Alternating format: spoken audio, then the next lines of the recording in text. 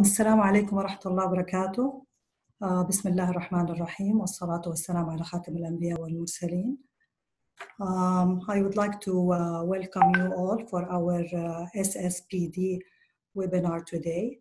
Uh, I am Dr. Manal Al Malik. I'm a board member of the society and a consultant pediatric dentist at King Fahd Armed Forces Hospital in Jeddah.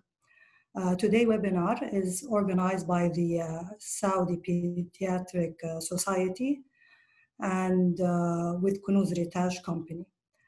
Uh, please note that all participants will be uh, receiving certificate of attendance of tonight webinar by email in one to two weeks.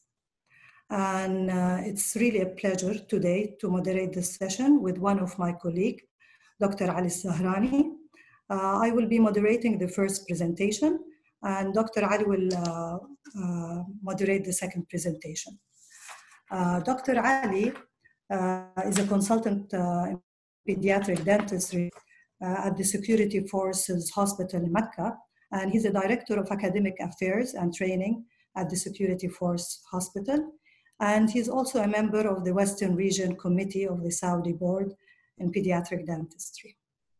Uh, please note that at the end of each presentation, there will be uh, time uh, to answer some of your questions, and you can use the section of Q&A to write questions that you have. Um, okay, we go to our speaker, uh, Uh, our first speaker is uh, Dr. Anas uh, Al-Salmi. Uh, Dr. Anas is uh, a consultant pediatric and special needs dental surgeon at Postgrad Dental School at Mohammed bin Rashid University of Medicine and Health Science and Dubai Dental Hospital in Dubai. he's a PhD candidate at Queen's University Belfast, North, Northern Ireland, UK, and he obtained his master degrees in 2017. He's also a member of the Royal College of Surgeons of Edinburgh and Ireland. He has uh, published more than 20 scientific papers in international journals and published two thesis books. He's also a member of uh, uh, committee the IADR. Please, Dr. Anas, you can start, uh, you share your screen, please.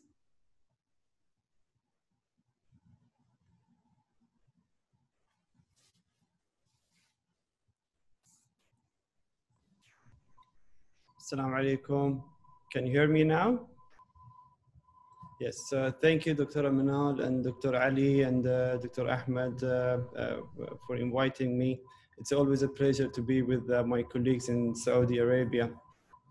Uh, so today we'll be talking about uh, the yeah, so our today topic is about the pediatric dentist evolving role in the managing the cleft lip and palate. And we know that the cleft lip and palate is quite uh, common. Uh, we do see in our hospitals and uh, dealing with these children's it's uh, really like uh, challenging and it's required the uh, interdisciplinary approach.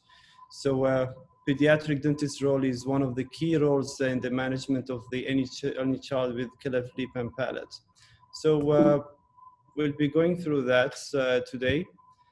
So in general, if you look at the incidence of the cleft lip and palate worldwide, it really varies. Um, and but when you come to that, I mean, the variation is uh, usually it's uh, it comes with the race. So in general, the and palate incidence worldwide it's uh, 1.3 per 1,000 birth, and the, as per the race it also varies.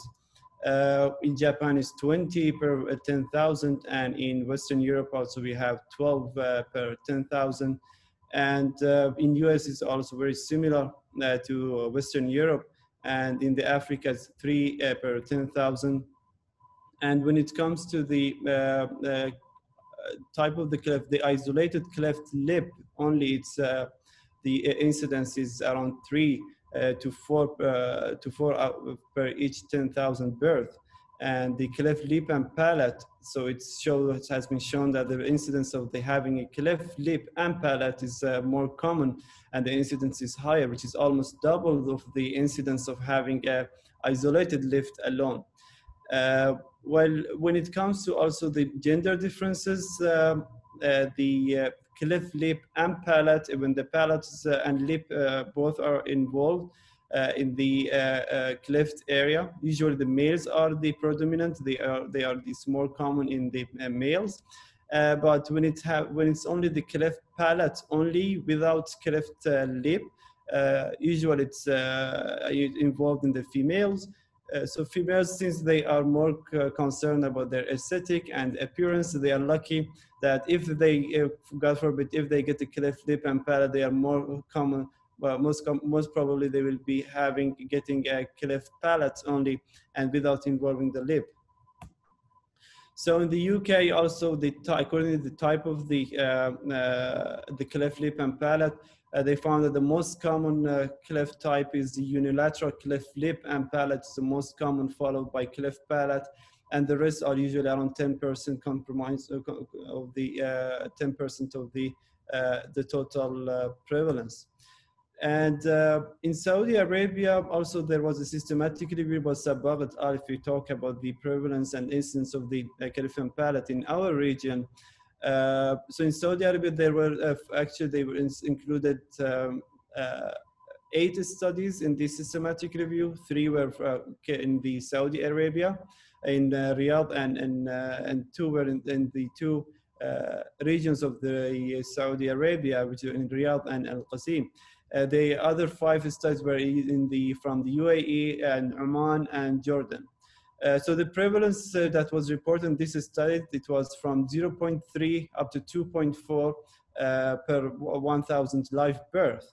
Uh, so which is very similar to the worldwide prevalence that we have. Uh, and the birth, the prevalence of the orofacial cleft in males was higher than the females. And the isolated cleft was also higher in females here and in most of the studies reported in our region. So uh, which pregnancy or which uh, infants are, are more uh, at the high, they are at a high risk of developing cleft lip and palate. So uh, most of, I mean, the, the, going back to the etiology of the cleft lip and palate, there are many reasons, or it can be genetic, it can be environmental, or it can be isolated uh, uh, pattern. But, but the risk that the the risks that are already reported in the literature uh, are usually if they have the consanguineous unions or the marriage. And smoker uh, mothers, they are at higher risk. Uh, diabetes or specifically gestational diabetes or uncontrolled diabetes, uh, they found that uh, they have uh, higher chances. And um, also they found that when you go, come, when the gestational diabetes, also, it's very common uh, almost 20% of the in the UAE pregnancies uh, they uh, the the during the maternity they have gestational diabetes. And one of the complications of gestational diabetes or, or negative outcome is macrosomia when the child uh, child uh, birth weight is more than uh, four kgs. And they found that in these children also with macrosomia, when they when they uh, when they are born, they are at higher uh, risk of having a cleft lip and palate. And uh, also uh, those mother who are using uh, medications uh, like um, anticonvulsants, also it has been shown that's one of the risk factors.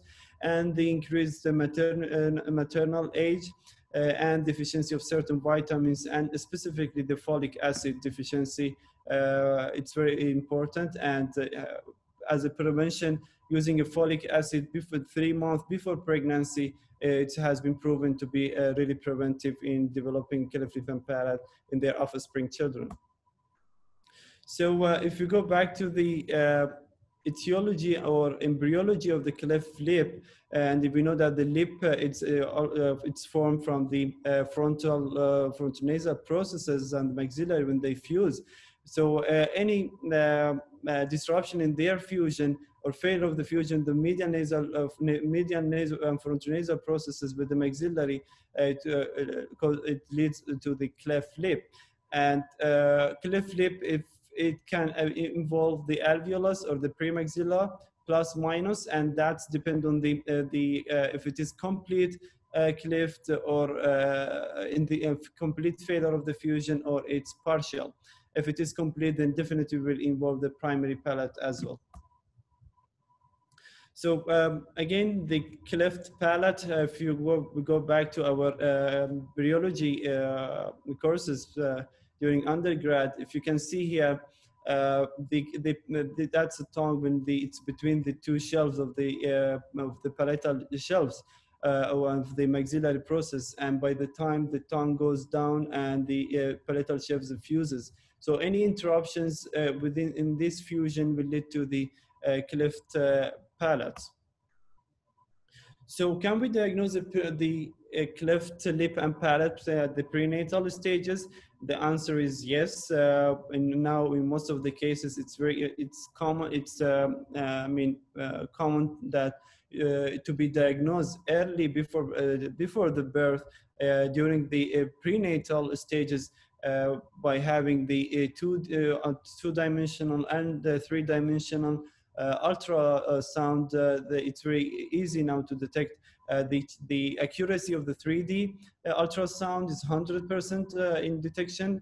And if you are using the 2D, the conventional ultrasound, the chance is up to 75% detection rate. Uh, so which type of the cleft can be detected?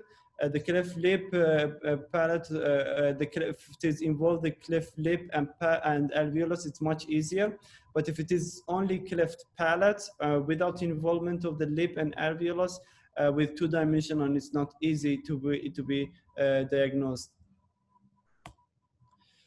So uh, the classification of the cleft lip and palates, there are many classifications and you can classify it according to uh, different categories. Uh, so uh, you can have it classified according to the type, which is you can have either cleft lip, it can be cleft palate, or it can be cleft lip and palate. Uh, and according to the location, if you have in the primary in the primary uh, palate or secondary palate.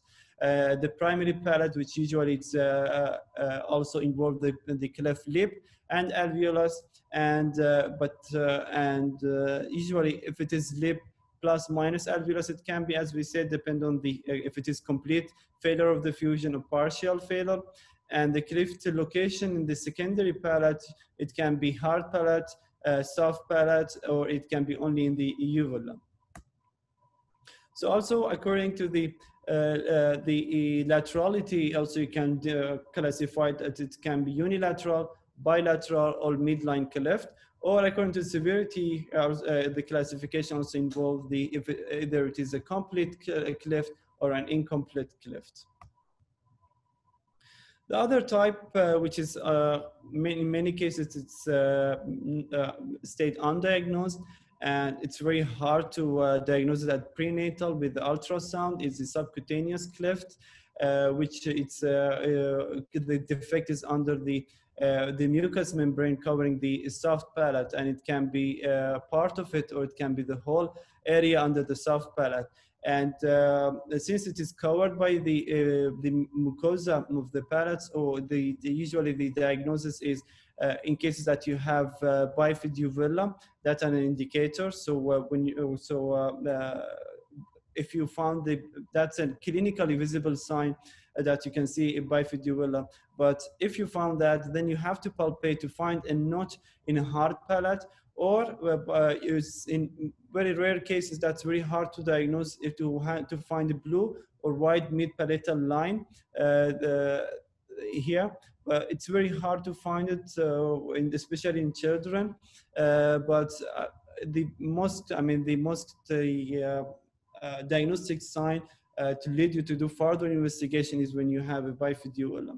Uh, in these cases, usually the problems which are associated is during the feeding, and it also affects their speech and their ear because of the recurrent ear infection sometimes. So uh, the cleft lip and palate, it has uh, the, the according to the phenotype, uh, you can see uh, incomplete lip, uh, lip, or you can have lip and uh, with alveolus, and you can have unilateral cleft lip and palate, and you have bilateral here, cleft lip and palate. And here is the uh, in, the incomplete uh, uh, cleft palate. That's a complete cleft palate. And here, what you can see, it's the actually it's these are the labial pit, but here there is a cleft lip which was repaired. And usually these pits, you see them in the van der Woude syndrome. Uh, that's a diagnostic feature of the van der Woude when you can see the labial pit in there uh, uh, the, labia, the middle part of the uh, upper and lower lips. So that's one example of the unilateral cleft lip and palate. it involved the lip and the alveolar bridge and the palate, but in one area, the right and left, but it's more commonly uh, to be seen on the left side, and it's more common in males and uh, less likely it is associated with uh, syndrome, but if the syndrome associated, usually it's the van der Woude syndrome. That's a one of the most severe uh, classification of the cleft lip and palate. Uh, you can see here that we had there is a bilateral uh, complete and palate. That's one of the most severe classification and hardest to uh, treat uh, and do the surgery and with the uh, less prognosis and more complications to the child. maxilla here is you can see that separated into three parts with the premaxilla area which is protruded. Uh, and uh, that's bilateral also an exa another example of the bi bilateral cleft lip and palate. Here you can see the uh, severe maxillary constriction. It's almost a v-shaped palate. And they have here the increase also the uh, palatal prognathus that you can see. It's uh, aesthetically usually the, the, children it affect the children and psychologically because it's not uh, they get bullied and uh, teased at the school. And most of them they avoid going to the school uh, unfortunately. And you can see here that there is severe extrusion of the premaxillary segment. And uh, uh, in most of the cases to treat this area they need osteotomy of the premaxilla. So that's an isolated, incomplete cleft uh, palate, which involved the palate only, but an incomplete start from the soft palate and uvula. It's more associated with the syndrome visually with the Stickler syndrome and more common in females as we said initially. The cleft palate only, it's more common in the females and cleft lip and palate more common in males. And uh, as we said, the, if it's not the, the more posterior the cleft it is, the harder to be diagnosed in prenatal diagnosis.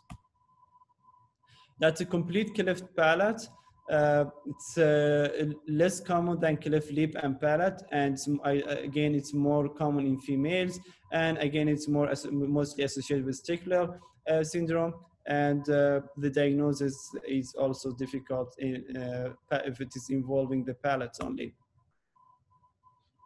So those are the types of the cleft lip and palate. So if you think now how we are going to manage them, uh, and who is it usually to have uh, uh, the to put a treatment plan and do the, the, the management of the child management of the child is start before the birth uh, during the prenatal. Uh, once it is diagnosed uh, with the ultrasound, the management actually starts at that stage and it might continue up in 20, the 20s and 30s. So it's uh, the management really takes a very long time, uh, almost uh, two, three decades of the life of it, of, it, uh, of any individual diagnosed with cleft lip and palate. So to manage this individual with cleft lip and palate, you really need to have a team comprised of pediatrician, genetics, nursing, or maxillofacial surgeon, ENT, plastic surgery, psychology is very important, social work, and speech and language pathology. That's, uh, these are the very important specialties that should be involved. And from the dental, other than the maxillofacial surgeon, orthodontics and pediatric uh, dentistry they are the one of the most important uh, uh, team members in this craniofacial team uh, to help the because as you know the cleft lip and palate it's affect the oral maxillofacial oral and facial area uh, so definitely uh, having a pediatric dentist who can take care of these children from the early stage of their life is very important so um, uh, the most common dental problems usually associated with cleft lip and palate, and uh, if you don't see all of them, but most probably you will see most of them. Uh, one of them is neonatal teeth, and that's more common to have at the uh, cleft area. Ectopic eruption is very common, especially for the ectopic eruption of the canine, the uh, lateral on the cleft side, if it's not missed, the centrals, primary centrals, usually most of them, they get ectopic eruption and ectopic eruption of the uh, first permanent molar is uh, very very very common in uh, very common these uh, patients to be seen and uh, supernumerary uh, it's uh, one of the uh, common uh, dental anomalies also that you can find and that can be as usually it's an su supplemental if it's in a primary dentition oh sorry or it can be uh, a conical shape in a permanent dentition. Uh, and also you have the animals of the tooth shape and size. Usually they might, some of the teeth are microdontia and some of the teeth are microdontia. Very common to have in the primary dentition, you have uh, fused uh, teeth, the gemination, uh, or, fu or fusion, uh, but in, in rare, less commonly in the permanent dentition enamel hypoplasia, uh, it's very uh, uh, common to be seen. Uh, that can be either due to the uh, uh, in environmental factors during the tooth development for the permanent dentition, or it's sometimes associated with some syndromes, cardiac problems, cyanosis. So there are many factors that will lead to enamel hypoplasia. Uh, you know that tooth formation uh, it uh, can be affected with multi it's uh, multi factors can affect the tooth formation. Uh, one of them i mean it's the having a, a hypoxia uh, having a, a, surgery on the site or trauma environmental so all these can affect. And MIH is not commonly it's not very reported in the literature but we commonly see that. Well, and uh, I can say that around 60% of the cleft lip and palate uh, patients, they do have MIH, molar incisor hypomineralization. Uh, that's also bec that's because of the uh, teeth development which happened during the first three years of life. Uh, these incisors and molars uh, usually uh, when the, that's a child when uh, it goes under general anesthesia it gets some, a lot of ear infection and takes takes for a long time the antibiotics. So definitely that is going to affect the molar incisors uh, development. So most of the time we see them they are hypomineralized uh, and sixes are hypomineralized and uh, ectopically erupted. So early intervention is quite important. Deep bite is very common and cross bite also uh, and crowding and spacing. In some areas you might have spacing, and some areas you might have uh, crowding. So all the the malocclusion you can find in the children with the cleft lip and palate. So the dental role start from the prenatal uh, stage. So orthodontics usually at this stage, they have nothing to do. Uh, pediatric dentists, they have very supportive uh, uh role uh, in caring the, the parents uh, and informing the parents about the neonatal uh, treatment options like pre-surgical infant. Uh, they need to be prepared uh, other than psychologically they need to prepare and plan. Uh, they know they need to know that the treatment and surgeries they to start uh, as early as two to three months after birth. So they need to be prepared of and under and aware of these procedures that will be going to happen very soon after birth and uh, it's very important to emphasize on the importance of the minimize the transmission of the cariogenic bacteria from the parent to the child since they are already at a high risk of uh, having dental caries. So we don't want to expose them more uh, to the uh, uh, mucus uh, mutans streptococcus. And during infancy also we need to take care of their airway uh, in cleft lip and palate, uh, usually there is no concern, but feeding and nutrition, uh, it's a problem when you have a cleft, uh, a cleft lip because they don't have this, cannot have this pressure, negative pressure, and uh, for the sucking when they uh, lips, they have a cleft in their lips. And the, they may be able to breastfeed if they, they, they have isolated cleft palate and you need to consider the changing their uh, bottle, uh, the, the bottle for feeding that with the teeth. So these bottles are uh, especially designed for this patient during feeding. Also, the, uh, the, the pre-surgical uh, infant orthopedics, uh, which we will uh, come be talking more in our next slide. So this pre, these are very important pre-surgical orthopedics done uh, before the surgery early in life, uh, which usually they align these um, maxillary segments and creates less tension on surgical closure when they plan for surgery to close this um, and reduce the severity of the cleft the appliances uh, it's uh, uh, it varies. You can use the Latham appliance or you can use the alveolar molding or taping. Uh, so usually uh, at the neonatal uh, and infant it starts first week of birth. This appliance usually is inserted and you secure it with surgical tape. And you have the adjustment is done weekly. So this activation adjustment is uh, done very, I mean, very frequently every week or maximum every two weeks. So that will allow these segments to come together and uh, there will be the, the uh, will be having, so, so report that this will allow the future uh, approximation and surgery will be easier and this the success and uh, will be higher. Uh, and this appliance also includes uh, nasal uh, stent and usually you put these appliances for three to five a month. Uh, so still for using the uh, nasoalveolar molding, there is a controversy in the literature and uh, it's most commonly now used in the US and in the UK. We don't use it much now uh, because uh, they found that long term it doesn't have any improvement in the occlusion and uh, so in the mid phase and into alveolus uh, it remained the same and same kind of the same treatment in long term has been provided regardless of the child had a NAM nasal molding or no so uh, uh it is it basically now whatever we can we can we can see with our colleagues in the uh, cleft lip and palate it's very i mean uh, some surgeons they prefer and some uh, uh surgeons they don't. Uh, so uh, it's very personal views and both will work and using it it's it has some beneficial.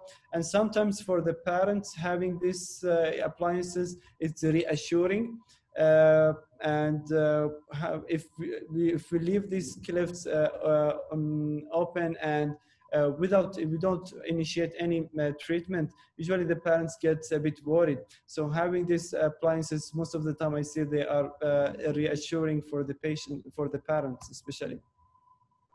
So it allows the correction of the flattened nose uh, before the surgery and it also facilitates the nose repair uh, when they are uh, repairing the uh, lip as well. Uh, so there is very weak evidence on the, on the pre-surgical orthopedic if you want if you have to do it or no. Uh, but as you can see here, there is this paper they found out that the NAM is in combination with the GPP reduce the need uh, they found that it reduced the need for secondary alveolar bone grafting by 60% in patients with unilateral uh, cleft lip and palate.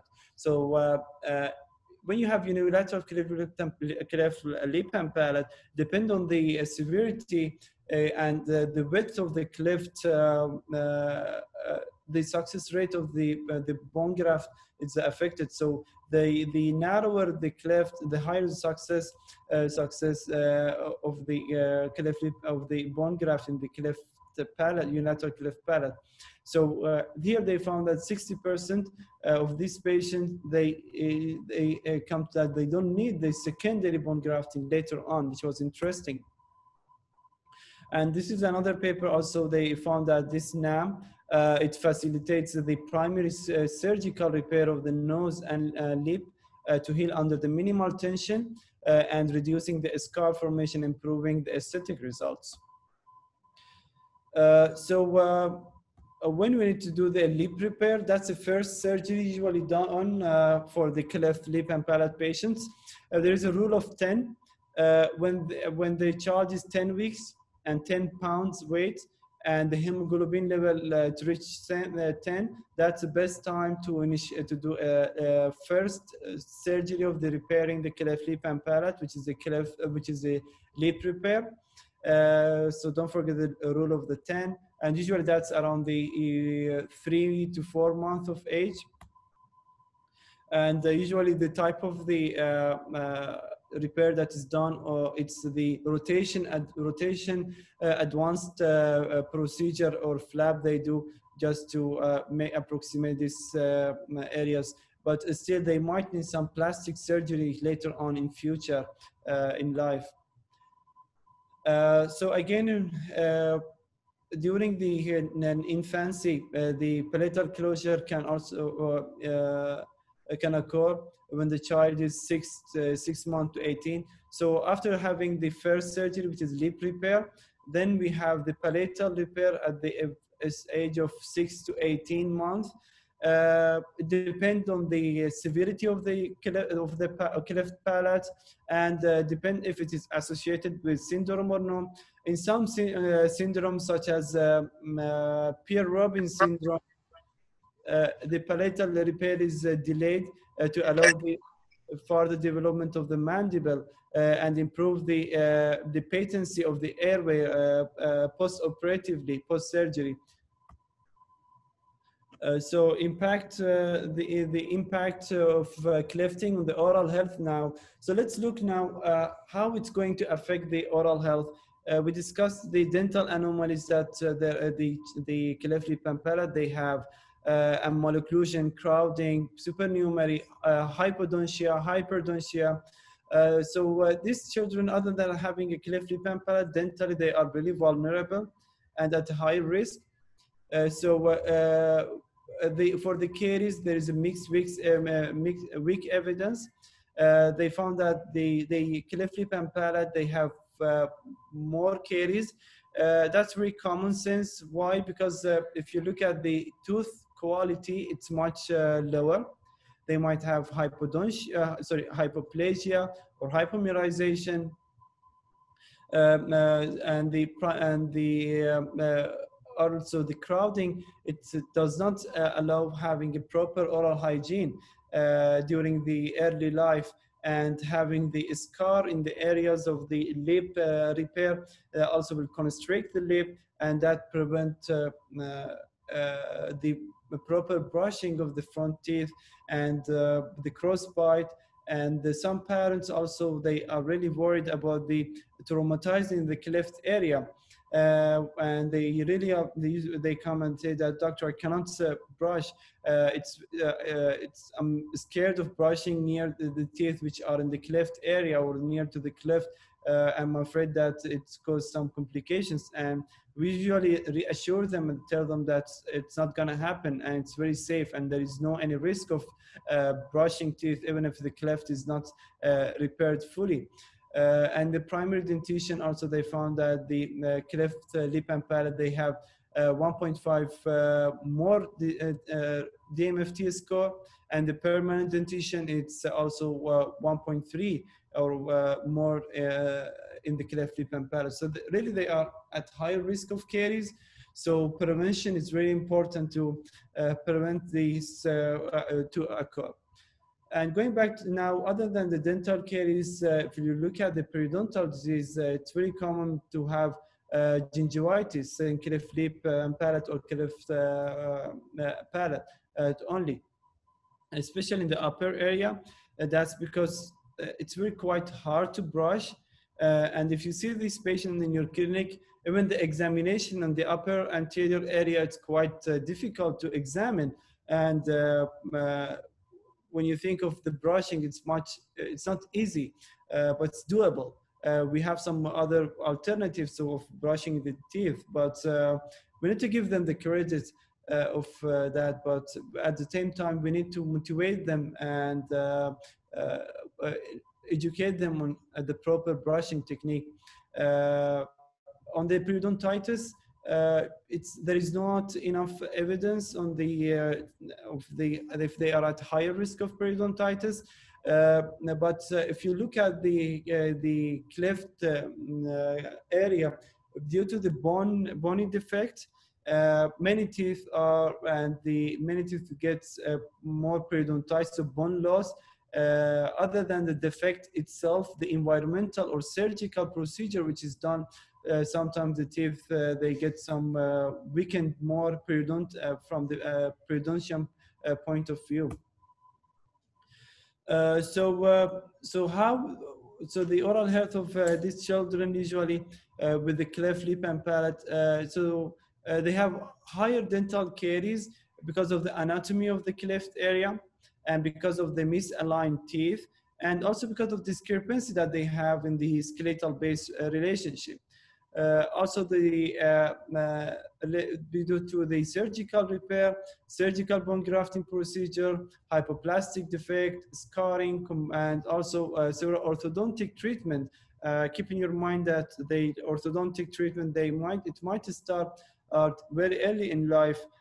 so and having other than having this misaligned teeth and crowding ectopic teeth, having an appliance in mouth that will require further efforts in uh, uh, in maintaining the oral hygiene for these uh, children. So uh, the dental care of the children with cleft, uh, uh, usually, usually they have an increased prevalence of the caries. So we need to consider the higher fluoride and early in life. the minimum fluoride content in each toothpaste I mean before the age of three I can say that one uh, thousand per per, uh, part per million per million. And after the age of three the minimum it should be 1450 you can control the risk of the fluorosis if you're worried about with the amount of the toothpaste that, that you use but keep in your mind that they are at very high risk of caries. And uh, most of them you they cannot they are they don't have that uh, kind of regular follow-up since they are very busy with other uh, surgeries, other follow-ups because of the ear infection, speech therapy, uh, and they have other complications. They and every week they have one or two appointments. So uh, they it's very common for them to miss their appointments uh, for the preventive measure that you do in the, your dental office, like fluoride varnish or fluoride gel. Uh, so it's very important to work uh, the uh, prevention more uh, concentrate on the prevention at home than if you con uh, than concentrating more mainly in the office. you can do all your preventive measures when they come and visit you, but don't forget the most important prevention. It's, it's for them. It's where it's at home. the oral hygiene and diet counseling is very important. Uh, their teeth is their teeth are already weakened by hypoplasia and hypomineralization. So reducing the uh, the teeth which uh, reduce the pH in the mouth, it's very important.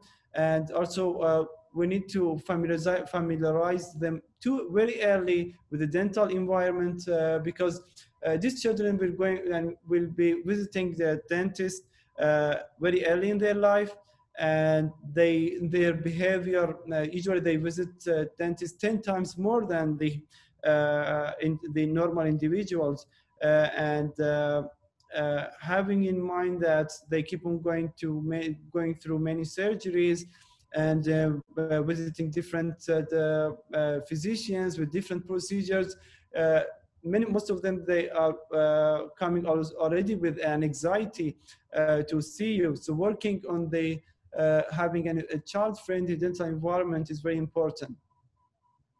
And the, the uh, due to surgery, due to scars, and due to cleft, usually most of them, the sulcus depth, uh, uh, usually it's very shallow. That's a challenge uh, if you want to work.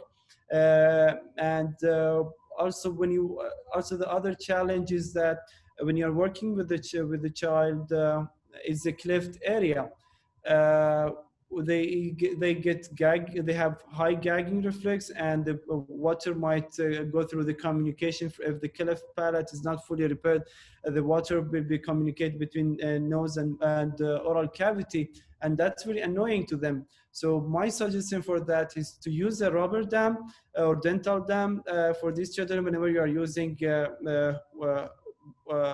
any handpiece or any three airway syringe uh, because that's very uncomfortable for them.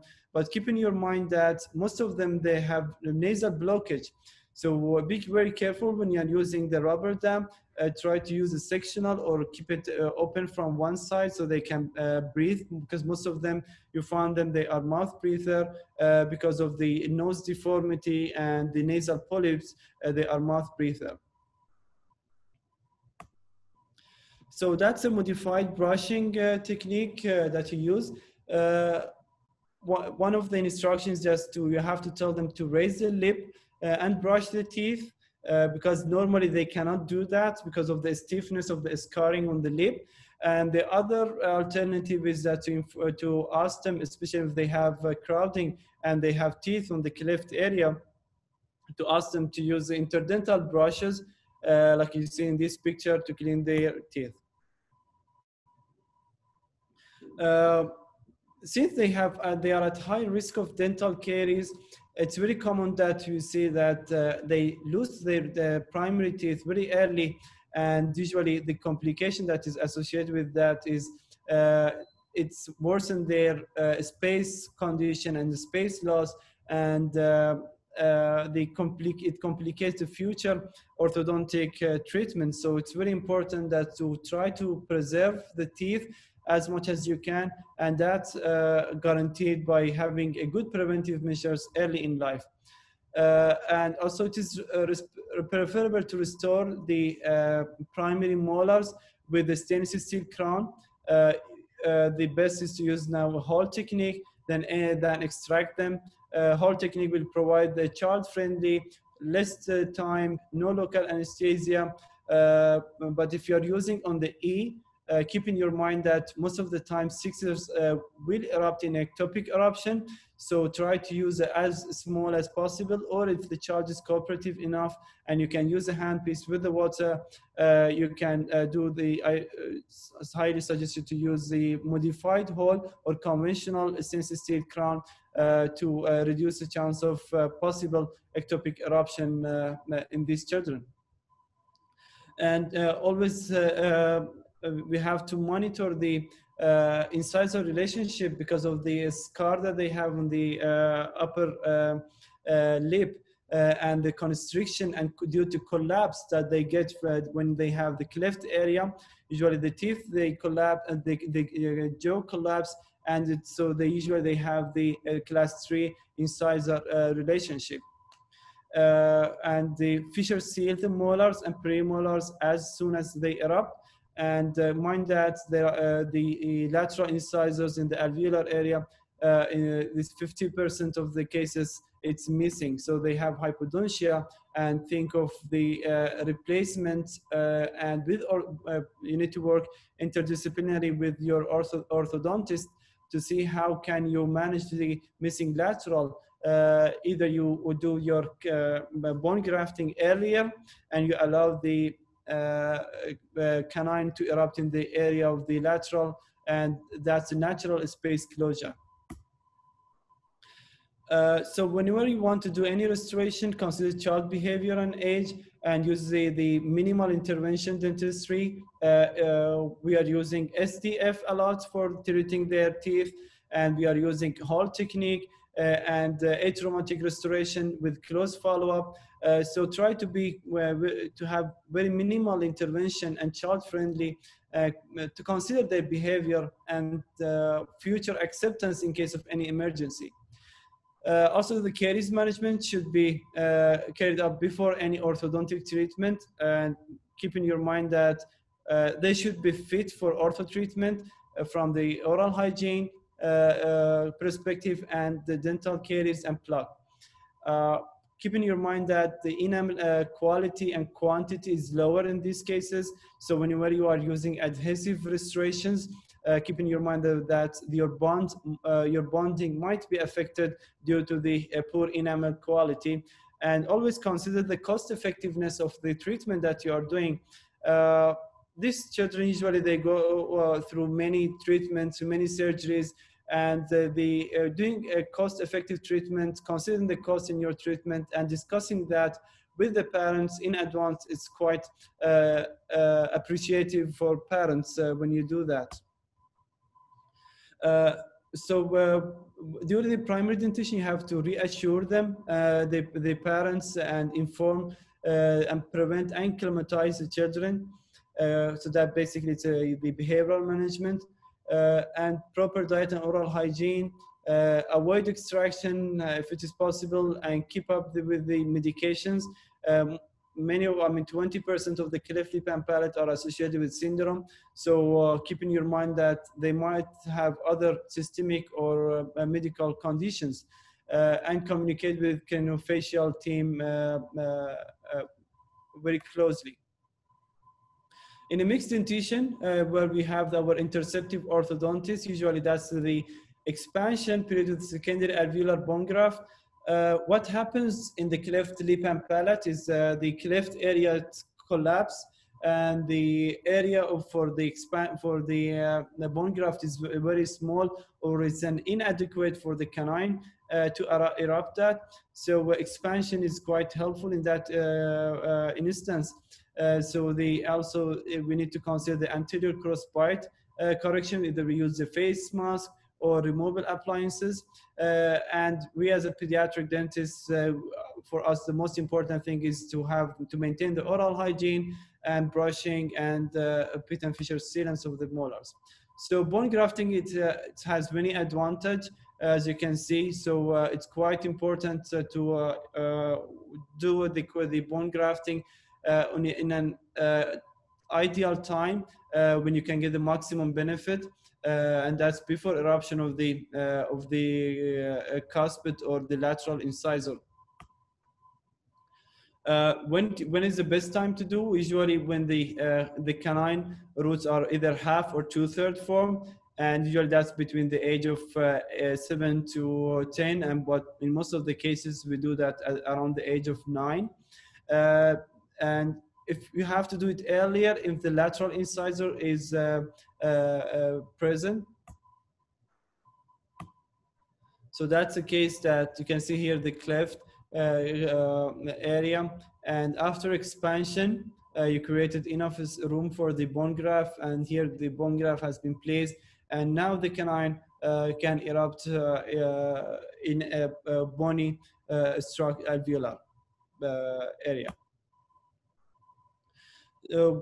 we highly recommend uh, taking OPG, uh, usually at the age of seven, uh, the, because and you can see at that stage, uh, that's the early mixed dentition stage, uh, maybe you might have any supernumerary teeth in the cleft area, or to rule out if there are you have hypodontia, because in case that you have hypodontia, especially when the lateral is missing, then you might, as we said earlier, you might uh, uh, do your bone graft earlier at that stage uh, to allow the canine to erupt in, in the area of the lateral.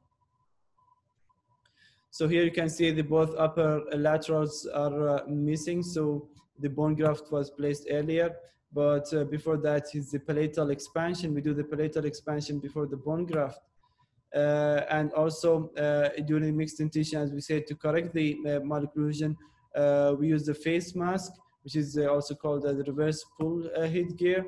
And here that you can see that after four months of reverse pull headgear that you can see that the occlusion has been corrected and we, the maxilla has been advanced.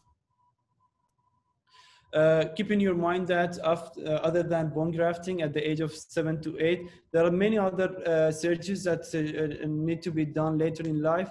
after the cleft palate uh, surgery, 10% of the cases they uh, end up with having a fistula. Uh, and later in life, usually at the age of 7 to 10 or sometimes with the bone grafting, you might consider repairing the fistula. Uh, and the nasal tip usually it's it's uh, reconstructed at the school age and uh, when the child is 8 to 10 years as we said that we do the bone graft and the final repair of the lip and palate uh, also it's done during the child's uh, mid-teens age. Uh, and usually at, they need to have also regular hearing checkup because the hearing, most in many cases, the hearing is impaired. So in permanent dentition, now uh, in, we delegate most of the uh, our job to our uh, colleagues in orthodontic department now. Uh, they need to go through comprehensive ortho orthodontic uh, treatment uh, that involve uh, correcting either anterior posterior relationship or transverse relation in case of they have crossbite. in these cases, or in correction of the hypodontia uh, or spacing all done at this stage, uh, final stage when they are at the permanent uh, dentition. Uh, in the, from uh, for, for us as a pediatric dentist, it's very important to maintain the oral health uh, during orthodontic treatment and um, educate about the hypocalcification of the teeth and hypomineralization also. It's very common to have in this is so how to maintain them with having orthodontic treatment, it's very important. So uh, now we come to the conclusion. As we say, we discussed, uh, the cleft lip and palate, it's uh, really an interdisciplinary team. You need to have your team and you need to uh, communicate with your team uh, very closely. And it, it, starts from the prenatal stage up to the adulthood. So uh, you need to consider many aspects uh, uh, for the to, when you're planning your treatment. For us as a pediatric dentist, it's very important to to look how the child is being fed. So feeding might be might be difficult for these children, and we need to consider that these children um, their diet has not been changed uh, due to their feeding uh, behavior. So it's very important to uh, look into their diet because uh, their feeding is not uh, uh, very easy and comfortable for the uh, parents to feed them. So many times they uh, uh, change their diet, make it more calories and with high sugar, high sugar content because of the taste, and they price. That's a price uh, to them if they do brushing they get a lot of uh, present with the uh, chocolate, chocolates and the lollipops so we need to consider their feeding and their diet and consider their hearing in your practice. Uh, many of them they might have hearing, uh, hearing impairment. So in these cases communication is very quite important when you communicate with your children. Uh, since they cannot hear you well, you need to make sure that they understand uh, what the procedure that you are going to do. The normal tell uh, show do the tail uh, component might not uh, uh, work so you have to show them uh, every step demonstrate that to them to gain their trust and consider their psychology and refer to the social workers if needed and uh, make sure that, you exclude any safeguarding and neglect. Uh, it's very common to have the child abuse, uh, child abuse uh, for children with the with these uh, impairments and uh, these conditions. so it's very important to rule out any child neglect or any child abuse. And the most important thing for us is the prevention to start very early to try to preserve the teeth and uh, because even uh, extraction of the teeth we will lose the bone so if you extract the teeth very early in life uh, you won't have that uh, high quality bone uh, for the uh, bone grafting or or the correction of this of the the cleft later on and if you have teeth on the cleft area and if you want to extract them it's preferable to extract them within I mean, three to six months uh, before the, uh, the bone graft. Uh, why is that? Uh, first of all, if you do it too early, you will have the bone uh, collapse and bone loss. Uh, that's not good for the bone grafting. And if you do it too late, the, there won't be any healing. So you will have the socket of the tooth, which require far more of the bone grafting. So to allow proper uh, healing, so better to extract the teeth on the cleft area uh, three to six months before the bone grafting to allow proper healing of the bone and uh, not to lose the bone uh, if uh, due to early extraction of these uh, baby teeth. So I hope that uh, it was uh, uh, not boring to you. I know this topic it has a lot to talk about, but uh, I try to uh, concentrate on the our role in pediatric and our colleagues in orthodontist.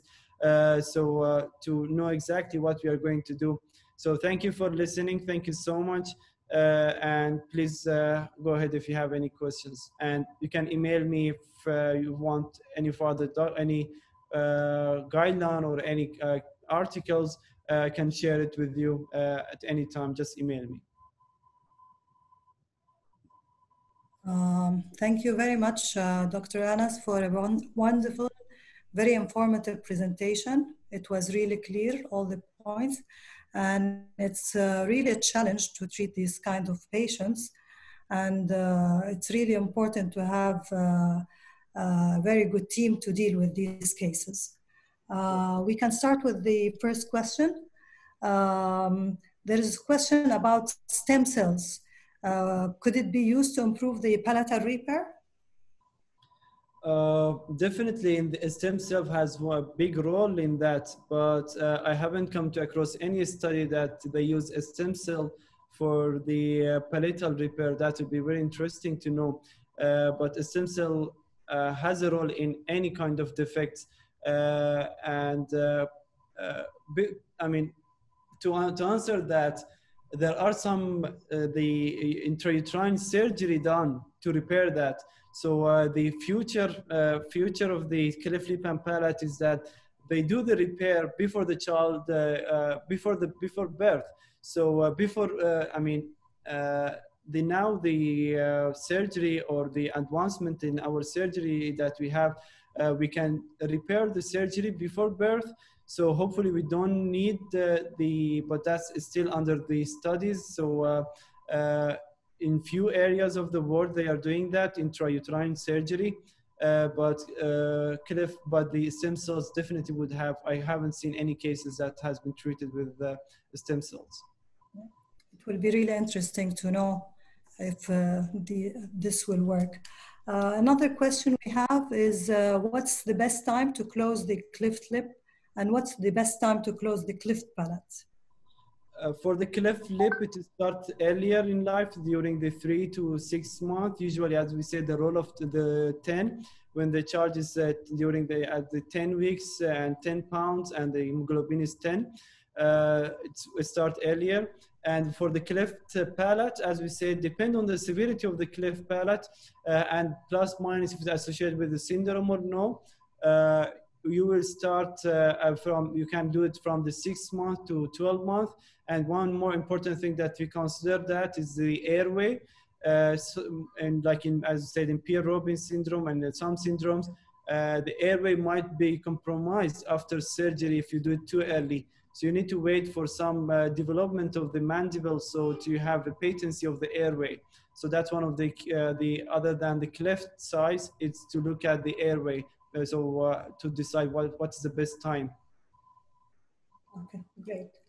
Uh, another question, how can we manage hypoplastic teeth in cleft patients? Uh, well, yeah, that's a very important question uh, because these teeth, they the children, they have uh, hypoplasia.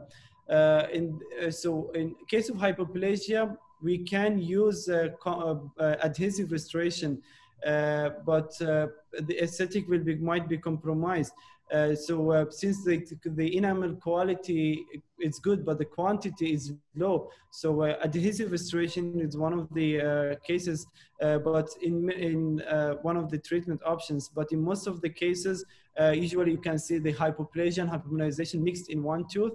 So uh, a full coverage, if it's a primary molar or if uh, it's a first permanent molar, uh, full coverage with stainless steel crown is my preferable treatment option.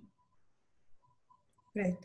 Um, there is uh, one question about uh, um, uh, one is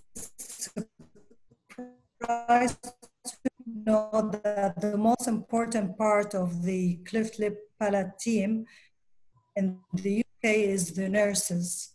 So what do you think about that? Sorry, Dr. Can- you, you, you were lagging the connection, but I couldn't hear you well. Uh, you the most that? important part of the cleft lip palate team in UK is the nurses. So what's your comment on that?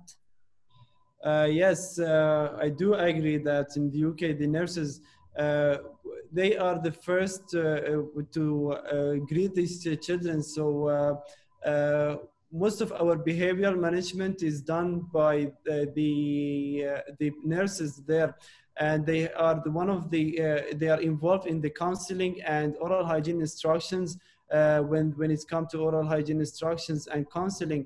So they are one of the important uh, members in the in the nurses are in the cleft lip and palate. Uh, they really have a good. Uh, uh, they put a lot of effort in the behavioral management. Uh, surgeons are too busy. Uh, they don't uh, have the, that time, or they don't usually put that much of effort. Unfortunately, in the behavioral management, so we can see most of the these cases are the behaviorally managed uh, initially by the uh, nurses. And also one of more important role of the nurses in the UK is to uh, exclude if there are any safeguarding issue or neglect. Uh, there are uh, nurses specialized in that. So uh, they really look into the if to that if the child is um, having any uh, suspicious to be uh, neglected, either oral or either oral, oral or dental neglect, negligence, or the uh, the general health of the child is neglected. So they are the first individual usually to because they have the, all the data of the child. So they are the first person just to uh, if they found any suspicious case of neglect and uh, safeguarding issue to report it to the uh, social workers. Okay, I think because of the time, uh, we will just have the last question. Uh, how can we manage uh, deep bite in these patients? Uh, usually, the because of the uh, uh, deep bite is due to the cross bite and uh, uh, class three, class three, and collapse, uh, class three incisor relationship and collapse of the maxilla. Uh, the maxillary expansion and uh, uh, correction of the cross bite. Usually, it's uh, correct the the deep bite, and uh, with having usually uh, deep bite, it stays only until the, the during the uh, the mixed dentition stage and uh, the final correction is uh, which usually it's minimal deep bite you have when you reach to the permanent dentition. Uh, if the uh, uh, skeletal correction has is done earlier in life so if the if you have done the skeletal correction of the um, expansion and correction of the posterior cross bite and advancement of the uh, maxilla is done earlier in life uh, usually that's get corrected during mixed dentition and minimal correction is usually required by uh, fixed orthodontics later uh, during the permanent dentition. Great, thank you very much. I think So much. uh, to start with our second uh, presenter. Thank you very much, Dr. Anas, for being with us, for accepting uh, to give uh, our your presentation in our webinar society um, sessions. And uh, hope you stay with us till the end of the second presentation. Uh, Dr. Ali, can you take over? Thank you very much. Dr. Ali Zahrani. Thank you, Dr. Ahmed.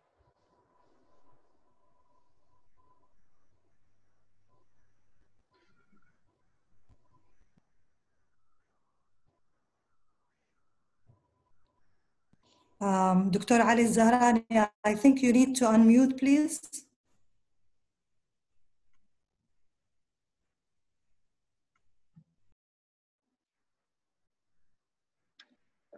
ثانك يو دكتورة منال آه، الصوت كويس الآن؟ Yes, yes, Okay. clear, we can Uh, hear you. on behalf of the Saudi Society of Pediatric Dentistry, uh, we'd like to uh, welcome our distinguished speaker, Dr. Ahmed Masoud. Uh, Dr. Ahmed is a clinical assistant professor at King Abdulaziz University. he is a diplomate of American Board of Orthodontics, and he had the PhD in neuroscience and sleep from uh, University of Illinois uh, at Chicago, and he uh, is their adjunct professor. Dr. Masoud is a reviewer for many uh, uh, journals like uh, the Angle Orthodontics and the American Journal of Orthodontic and Dentofacial uh, Orthopedic. He has invited to speak in uh, uh, international uh, meetings such as the American Association of Orthodontic and the World Sleep Congress and the American Academy of Dental Sleep of Medicine, and uh, where he has the award, the Graduate uh, Student Research Award. Dr. Masoud tonight will speak about maxillary canine impactions. Working to get together is a success. Uh, I would like to welcome Dr. Masoud and for any questions or comment to the speaker, please send it to the Q&A at the bottom of the screen. Further, Dr. Masoud. Uh, thank you very much. Uh, can you hear me properly? Yeah, yeah, fine. Okay. Yes. Okay, thank you. And thank you very much, Dr. Anas, a very sensitive and important topic. As you, as yourself and Dr. Manal said, it's uh, having a good craniofacial team that works well together, I think is the most important thing. And this flows well with the, with the general message of my presentation that working together is success. So uh, this is the outline of this webinar tonight. Uh, we'll start with the definition and etiology of canine impactions, maxillary canine impactions. So what's an impacted tooth? An impacted tooth is an infraosseous position of this tooth after the expected time of eruption. Uh, in contrast, a displaced tooth is an anomalous infraosseous position of the tooth before the expected time of eruption. Uh, the canine uh, is considered impacted in general if it's delayed beyond the age of 14 to 50. This is the most used definition. However, there are other definitions. There are multiple definitions, but these are two of the more most other common ones. An impaction is, defi is defined as a failed eruption of a tooth with a completely developed root. So if you see here, even this canine root, if it's developed, even if this patient is 10 or 11, it's considered impacted based on that definition.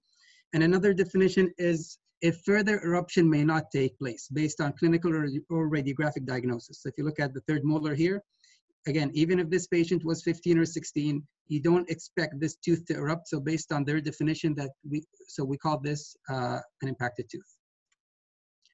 So again, uh, dental age uh, will differ based on your reference. I have this from uh, Wheeler's Dental Anatomy.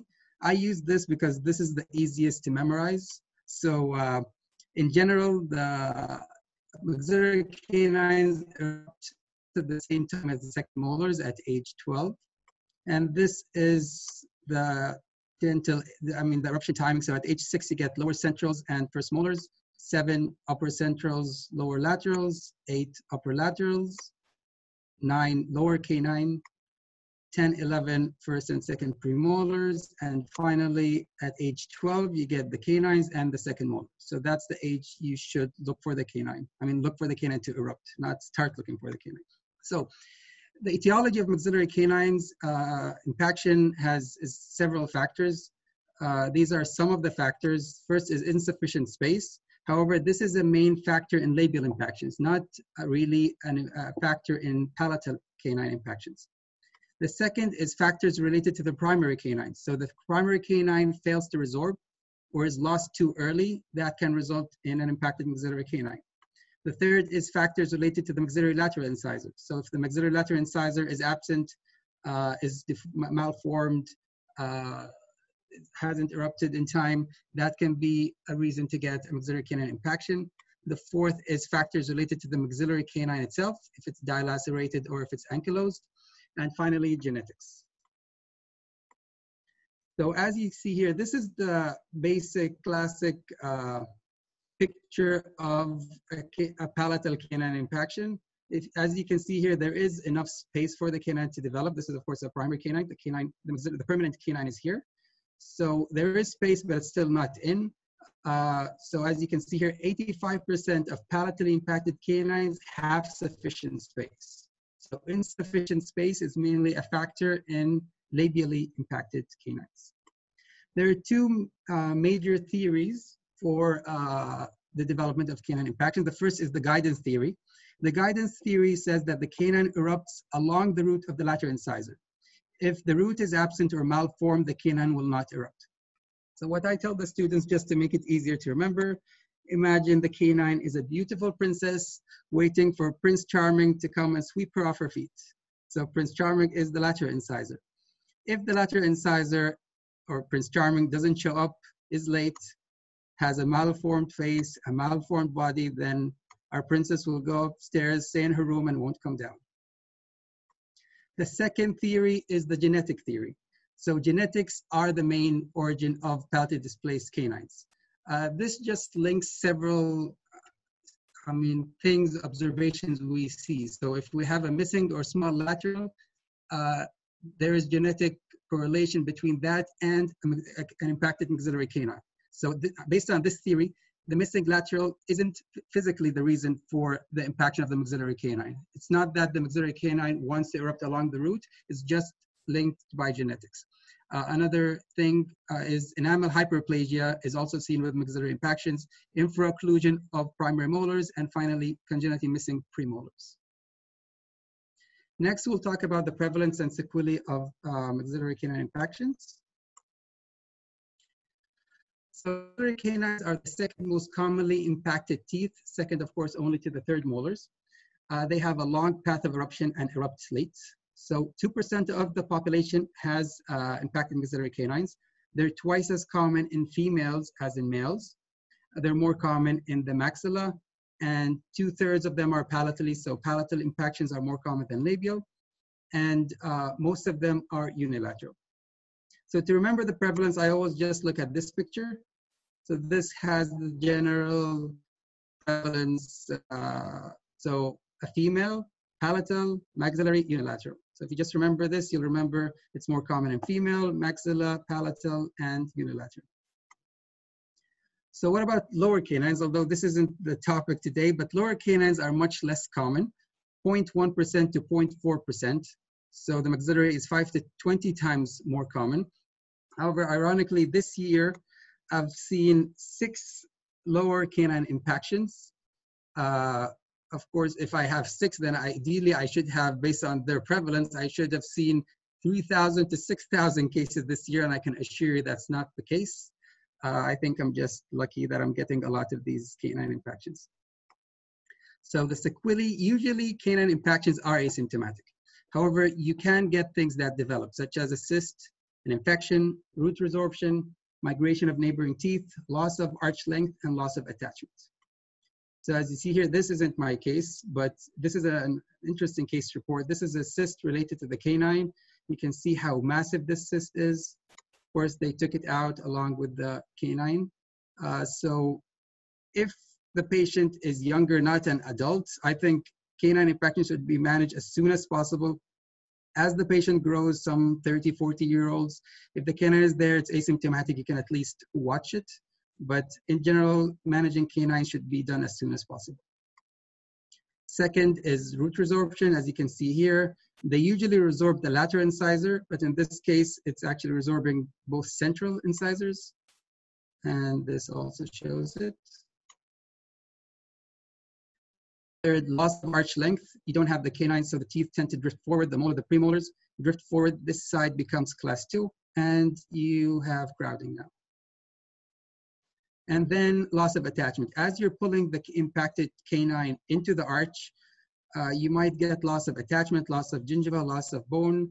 And so before you start, always tell the patient, I mean, this may result, I can't promise you the canine will look beautiful, but you might have this, you might need the gingival graft.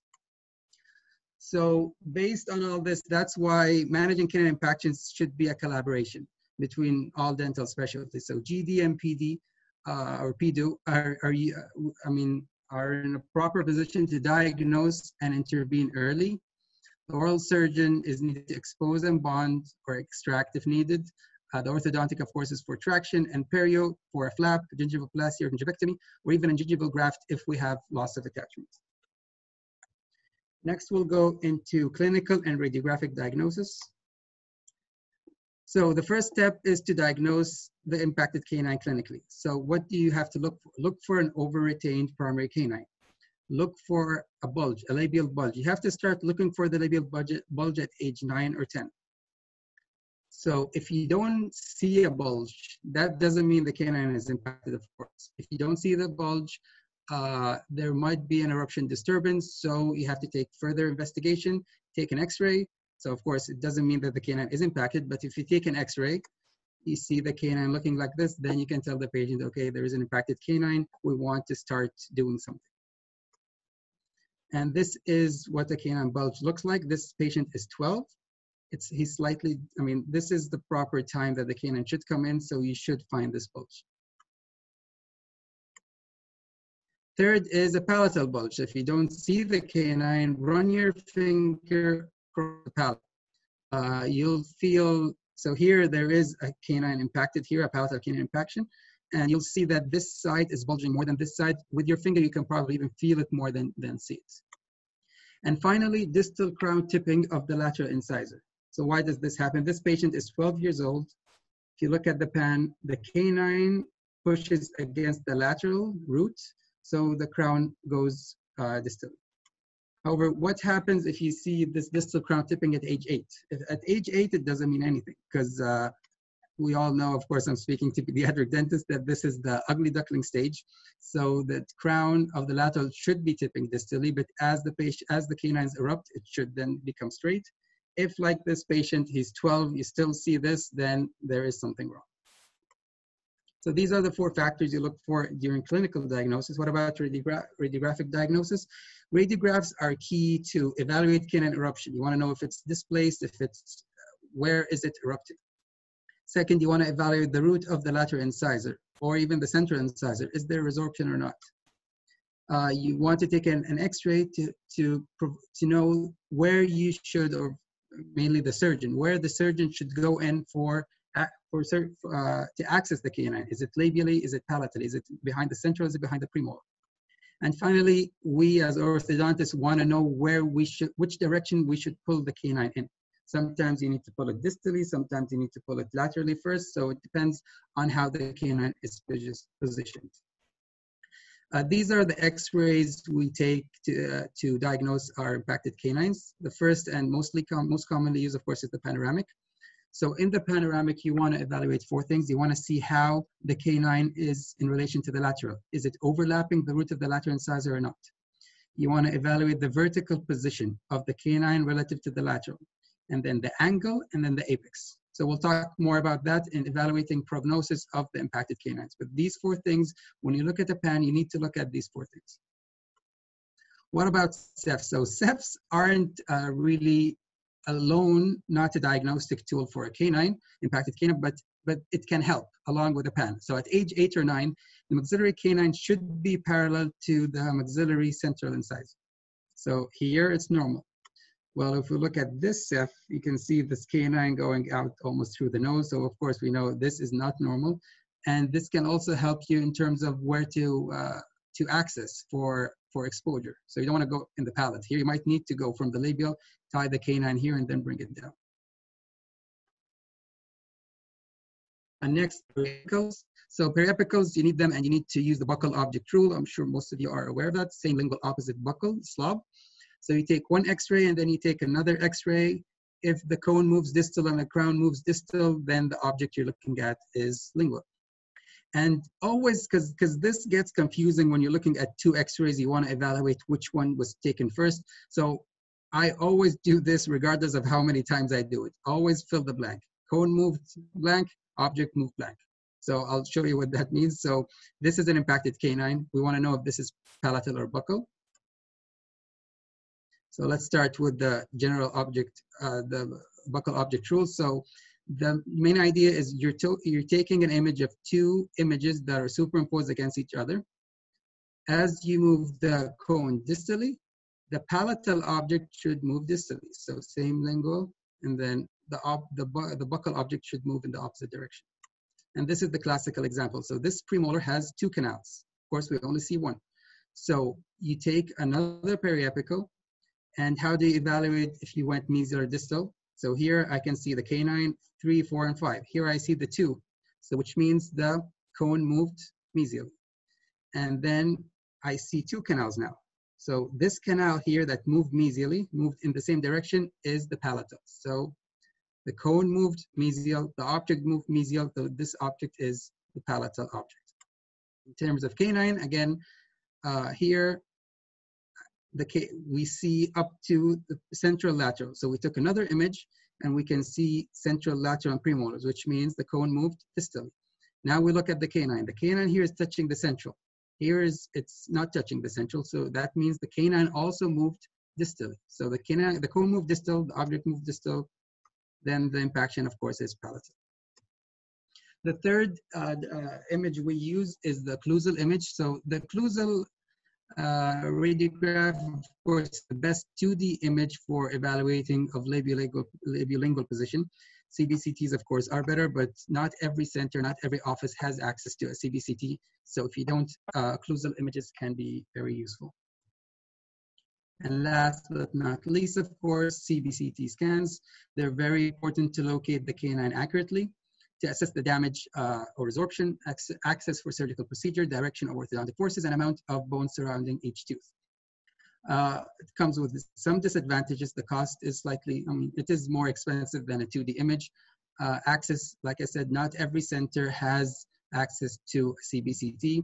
The radiation dose is higher. It can be two to three times, sometimes four times the, the radiation of a pan and acquisition time. However, nowadays this isn't a big factor because CBCTs are getting faster and faster. So let's look at this patient. So this patient has a canine here that's displaced at least, if not impacted. You take a periapical, you can't see anything. take a CBCT, you can tell accurately where the, this uh, canine is coming. It's coming above the lateral, tilting mesially, so we can, you can perfectly diagnose this, this canine. Another case, you look at the pan, it's resorbing the centrals. Take a CBCT, you can navigate. It's, it's, it's, it's, it's, I mean, the root of the lateral and the central is completely gone. So in a case like this, if you see the CBCT, you'll probably say, well, we're extracting both of these and just bringing the canine in their place. And uh, like I said, access for surgical procedure and direction of application. So again, the pan, you can't know where you want to access buccal or palatal you see here, it's definitely easy for the surgeon to know where to access the, the canine. And in terms of orthodontics, I need to know where I'm pulling the tooth. So here, I can't just pull the tooth labially. I'm hitting the, the root of the lateral. The first step is to pull it distally until I'm away from the lateral incisor, and then I go labially.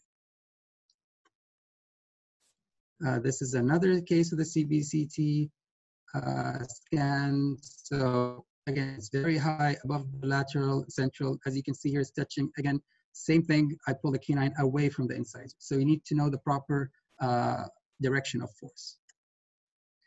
And because of course CBCT scans are 3D images, you can see things that, that you usually don't see with pans.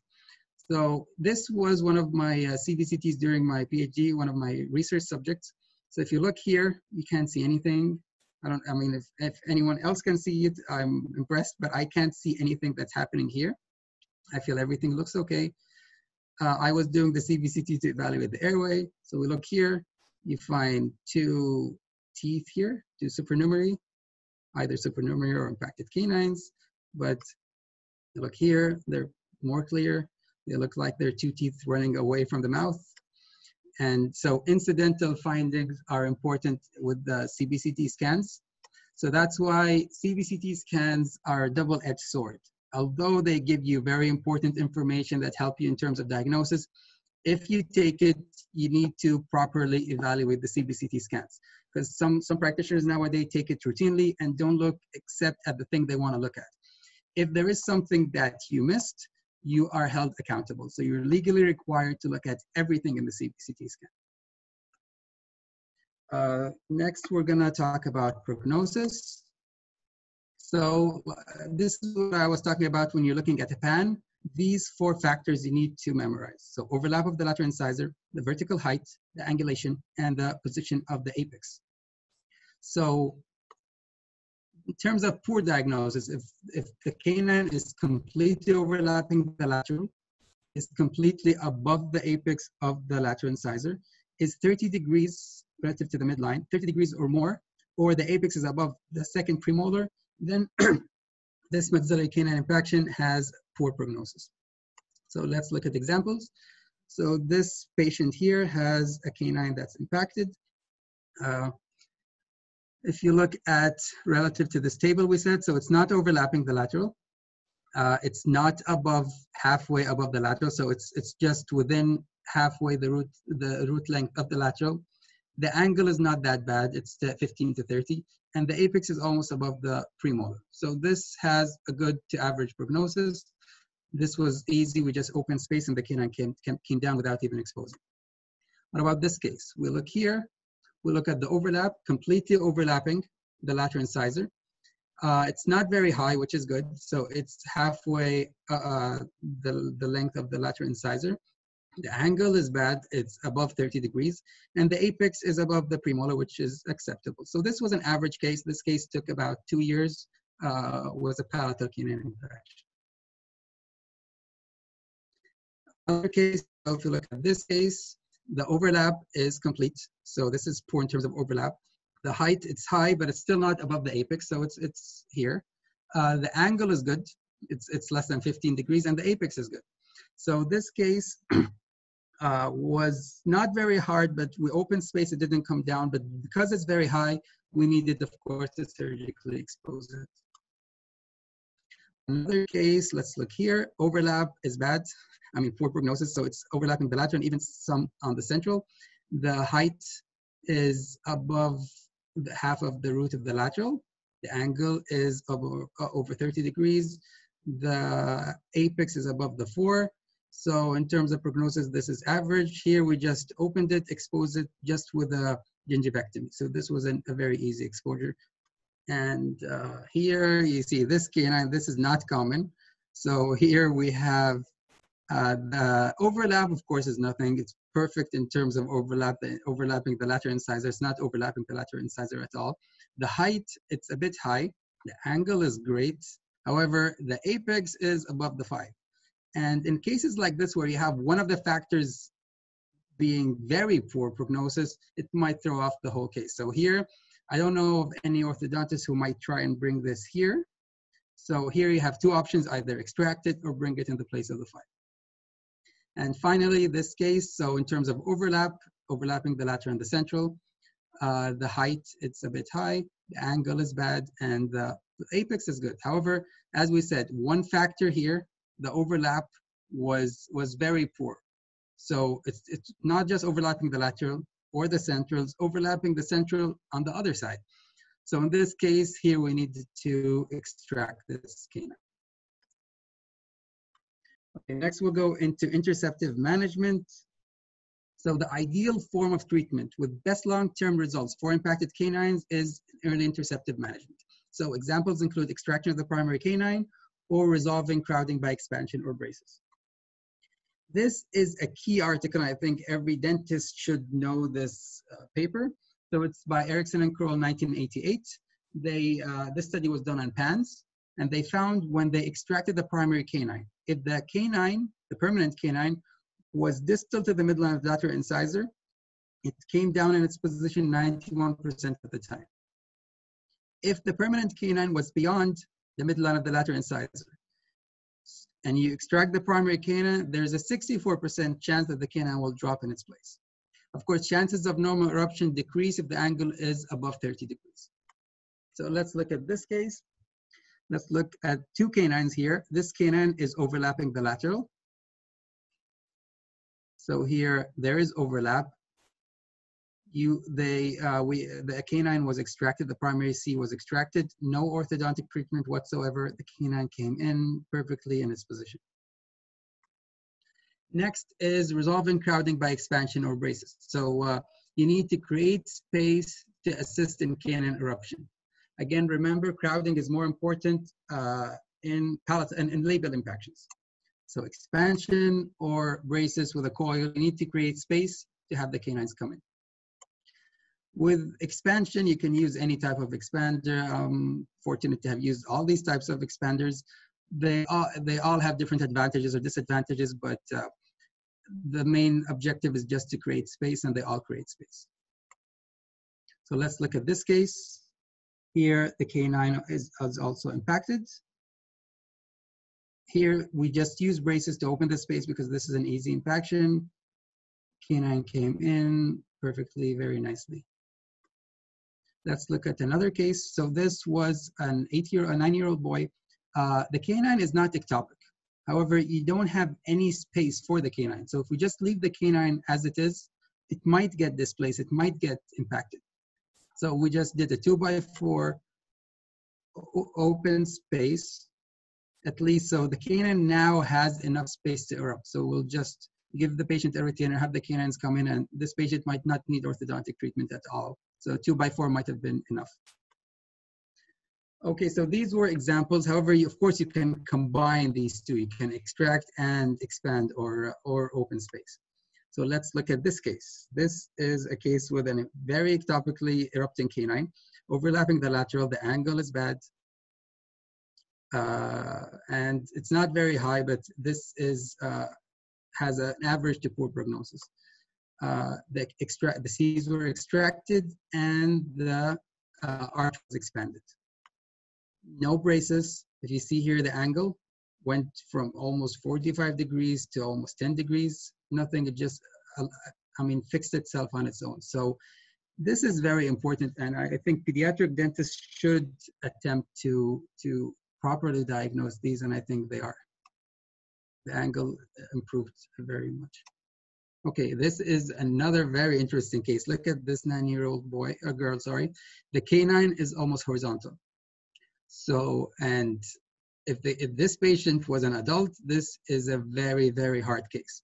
But this is a nine-year-old girl, so you can extract the C, but again, you don't have space for the four. So in this case, the C's and the and were extracted. Again, I'm going to show you this has no orthodontic treatment whatsoever it's amazing how the canine just, the four came down and then the canine just shifted and went down very nicely. This is uh, a cousin of mine. That's why this is a, a, case close to my heart. So I saw this uh, patient at six, 26 years. He was living abroad and he came to me and I saw the canine. I'm going to show you them in a bit. But when I saw them, I wanted to go and see his old records. So I took out his pan from 15 years ago. This is a pan from when he was 11. Let's look at the canines. Here, the canine isn't overlapping. Here, it is overlapping. So in hindsight, I mean, I didn't see him at age 11, but in hindsight, if the canine is overlapping the lateral, I would take out the canine. So this was never done. And let's look at him now. The canines just decided not to come in. They're almost horizontal now. The primary canines are still in. So uh, now it's a, it's, a, it's a very difficult case. He has two canines, two palatally impacted canines. So uh, extracting the C's might, I, I can't guarantee that it would have helped, but it probably would have, maybe, I'm not sure. okay, last is orthodontic management. So orthodontic management, I'm gonna talk about labial impactions, palatal impactions, and finally extraction.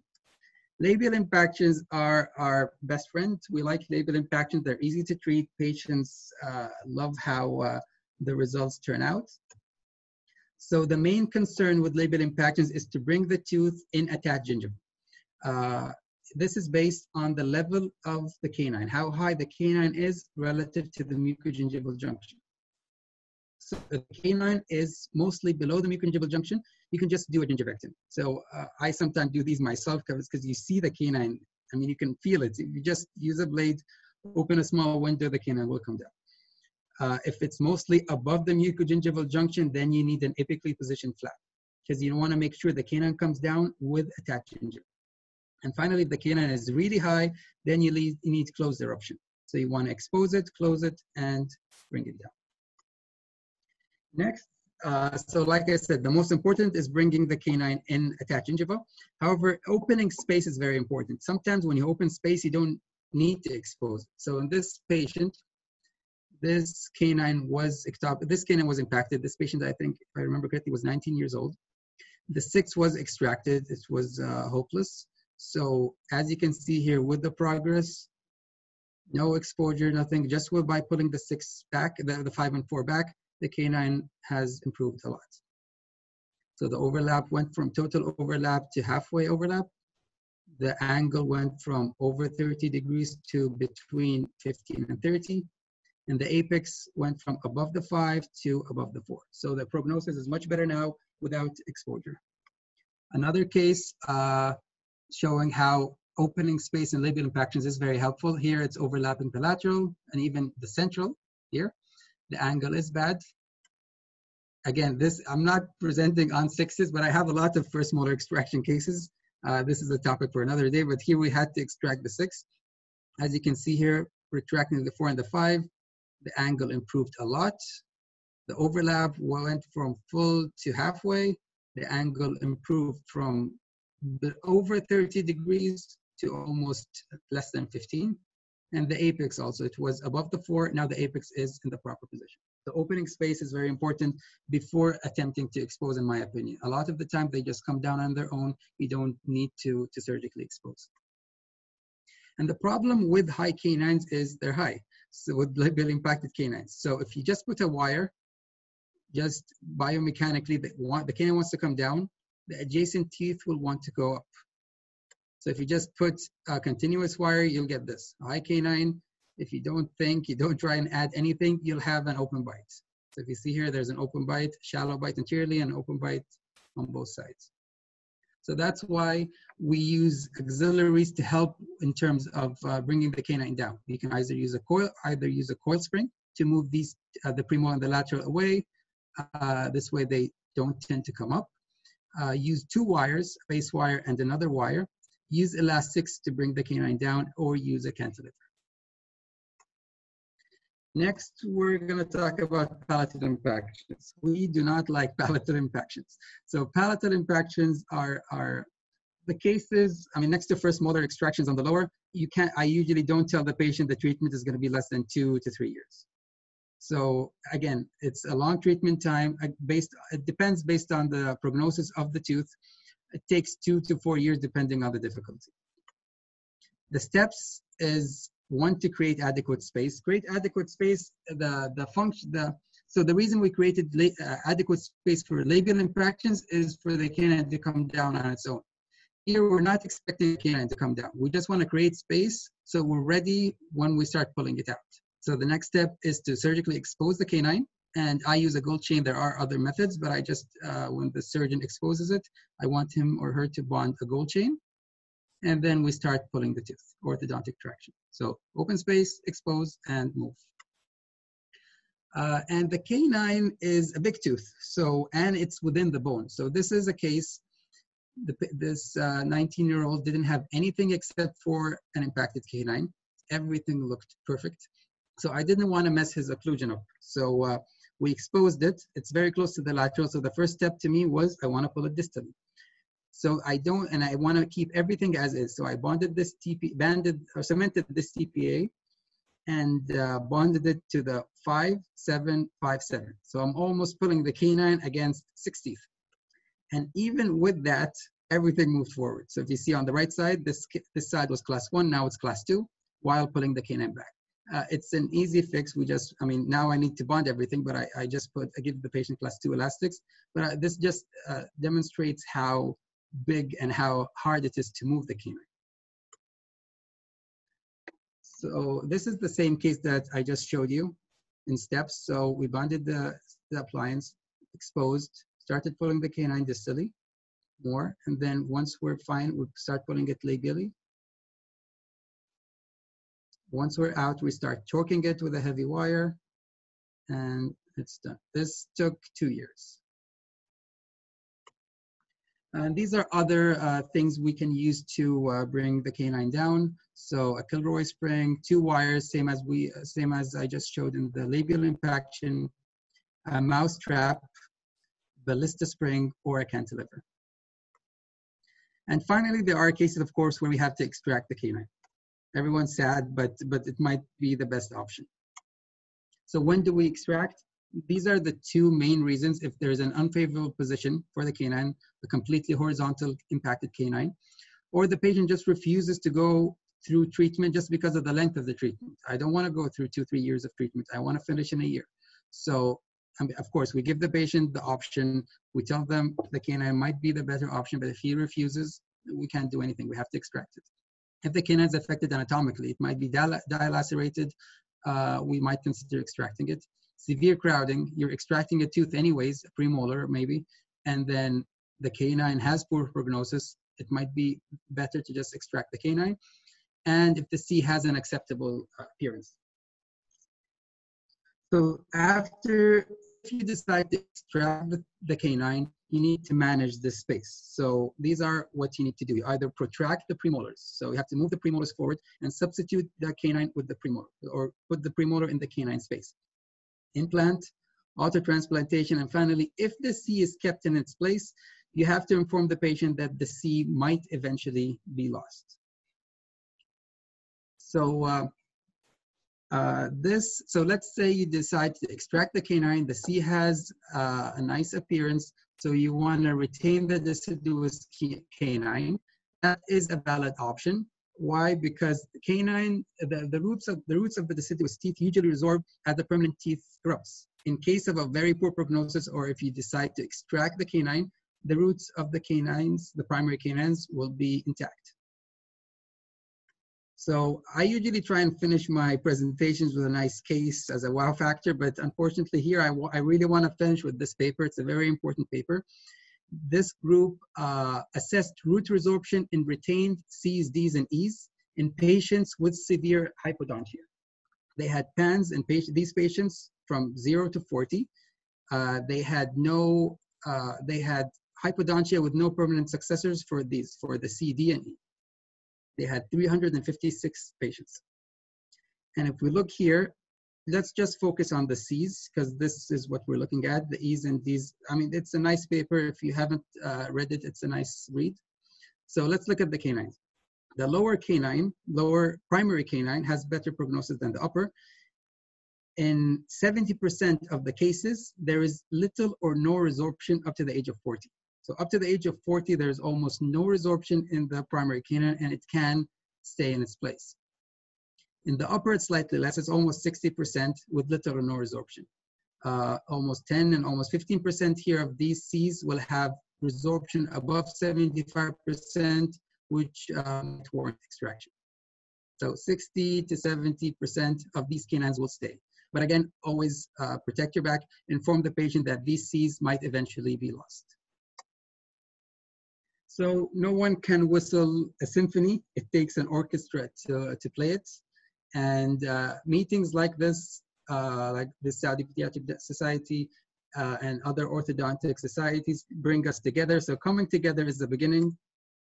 Keeping together is progress. And finally, working together is success. So this brings me back to the title of, uh, of this webinar, which is working together is success. We need to make sure we can work together, work well together, and throw our egos out the window. Thank you, and I'll take any questions if you guys have it. Thank you, Dr. Ahmed, for your uh, informative uh, lecturing. And uh, uh, we will start with the questions. First, uh, first questions the audience asking, uh, they say, uh, they thank you for your nice presentation. And she, they said, he said that in, uh, when you put uh, two by four in, in the case, uh, there is lower lingual arch and all the permanent teeth are erupted. Do you think there is need for it? She mean the lower lingual arch. It, it, depends on the case. If if if I feel the lower canine is is, I mean, if I have enough space for the permanent canine to come in and if it's erupting properly, I don't always put a lower lingual arch. If the canine on the bottom is also ectopic, which might be the case with an ectopic uh, upper canine, then I'll put in a uh, lower lingual holding arch to make sure I, I fix both canines. Okay. Another uh, questions. What is the routine radiographs you use in your clinical practice for uh, diagnosis such displacement? So uh, the pan is the first thing I take. so I, I, I know others take CBCTs on everyone. If I know there's a canine impacting before I see the case, sometimes I'll just go ahead with the CBCT. Like if, if the patient comes in and he, he or she has seen someone else, I'll just take a CBCT because from the CBCT can, I can extract the pan, a ceph and everything. But if it's my patient, the first time I see the patient, I'll, the first thing I'll take is the pan.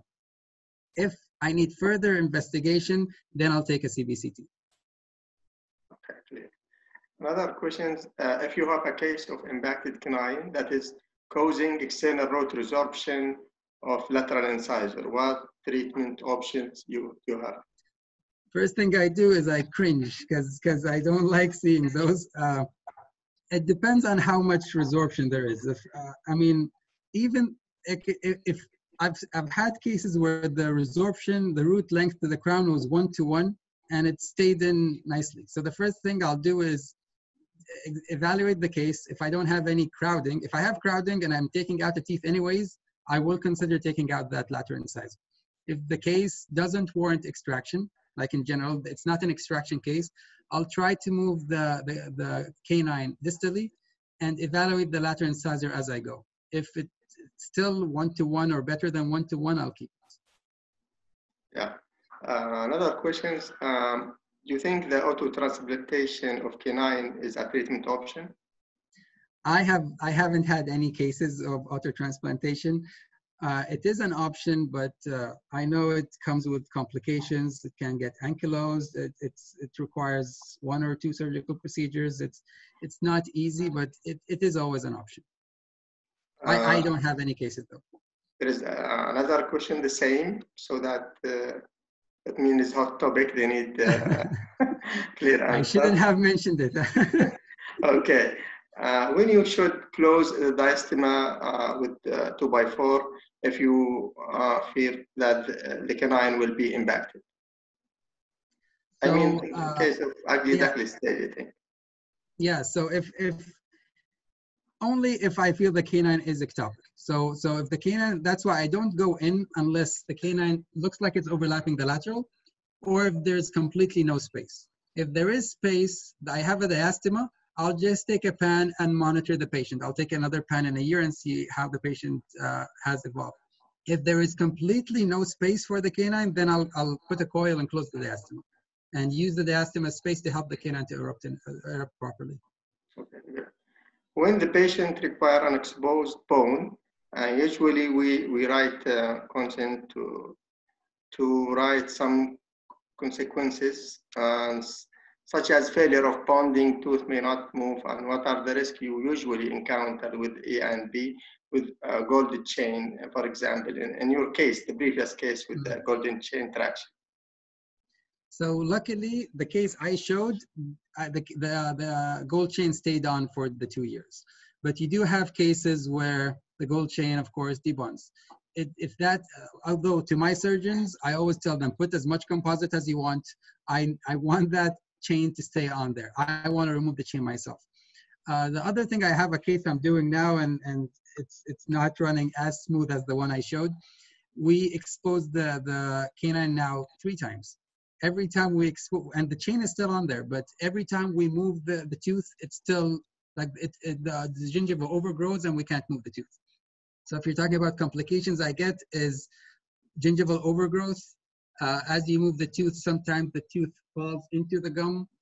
But I haven't I haven't had uh, debonds in terms of gold chain. But but of course, uh, in terms of consent, I'll always tell the patient treatment won't take less than two years. Expect two to four years uh, expect you might have some attachment loss you might have some recession on the canine as we bring it in. I'll move uh, i'll use low forces but there is still a chance that that we will have attachment loss.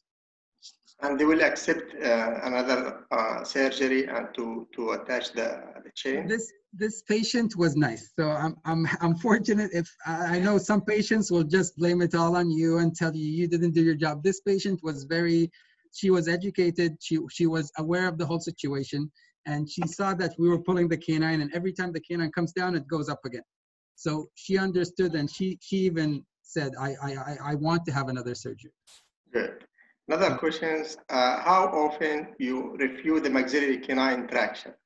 I mean, he, he's asking about, oh in The terms of follow-up visits yeah, Yeah. If, if if i'm using power thread or gold chain i see the patient every three to four weeks but if i'm using a cantilever because a cantilever has a long uh, range of action so you can leave a cantilever in for six seven weeks and the canine will just move or even when you, you, you use two wires the NiTi is active for for a long time but i still always see them in, in four weeks other questions. Uh, Studies show that labial displacement are more common in Asian population. Do you think the same apply in uh, Saudi Arabia?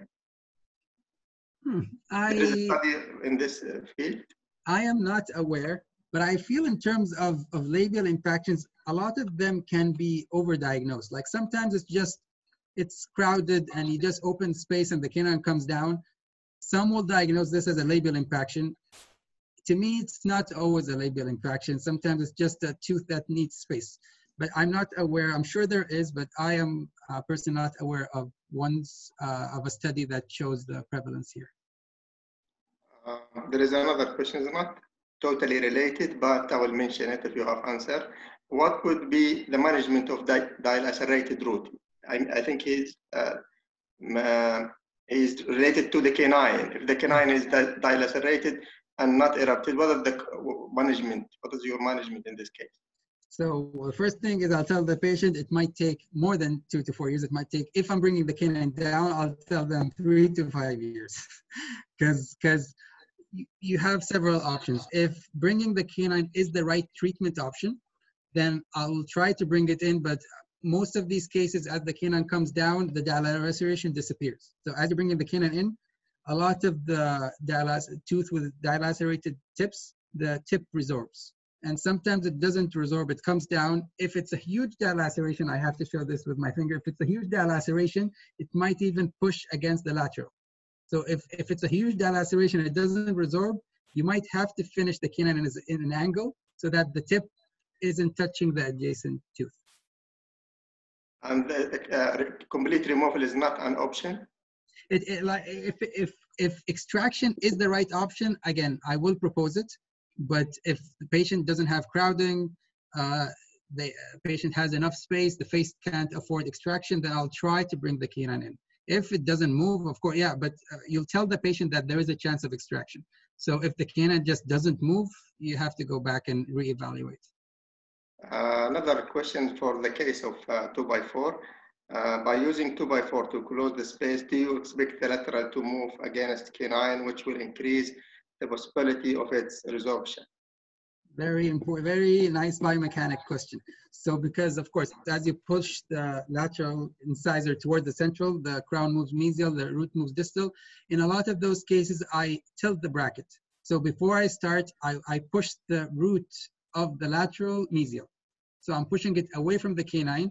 So while I push the lateral, I'm pushing the whole tooth bodily. I don't want the root to go distally as the question, my good question. Good. What do you think of case with one labial and other palatal displaced canine? Uh, that's I've, I haven't seen any, but that's uh, you have to have two brains because everyone every every canine will have different treatment methods. So uh, it's an interesting case, but I haven't I haven't had it. Dr. Ahmed, uh, thank you very much for your uh, yes. presentation, for your discussion. We enjoy it, and uh, I'd like to appreciate your time and effort. Thank Dr. you Manal, very much for having me. Thank you. Dr. Manal, are you with us? Um, yes. Mike with you. Yeah. Um, thank you, Dr. Ahmed. Thank you, Dr. Ali, for moderating the session with me. Thank you, Dr. Ahmed, for the very nice presentation. Um, uh, it's a pleasure and uh, to present this uh, certificate of appreciation in the name of Saudi Dental Society for Dr. Anas Salmi for being with us today and also for Dr. Ahmed Masood for your uh, great participation and hope we will see you again in other uh, uh, probably other symposiums or conferences here in Jeddah. Um, and also we would like to thank our moderator, Dr. Ali Zahrani, my colleague and dear friend. Uh, thank you, Dr. Ali, for being with us today. And um, like um, uh, with two nice uh, presentation. Uh, so hope to see you next week, uh, same time at eight o'clock. And um, if you have any questions, we will be having the emails of Dr. Masood and Dr. Anas uh, in our website.